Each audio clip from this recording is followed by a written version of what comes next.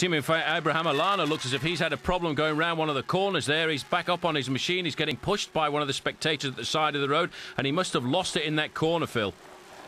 Well, I think it's a left-hand corner. He's just. Oh, we can have a look at it again here now. It's a left-hand corner, completely out of control. There's no way he was going anywhere.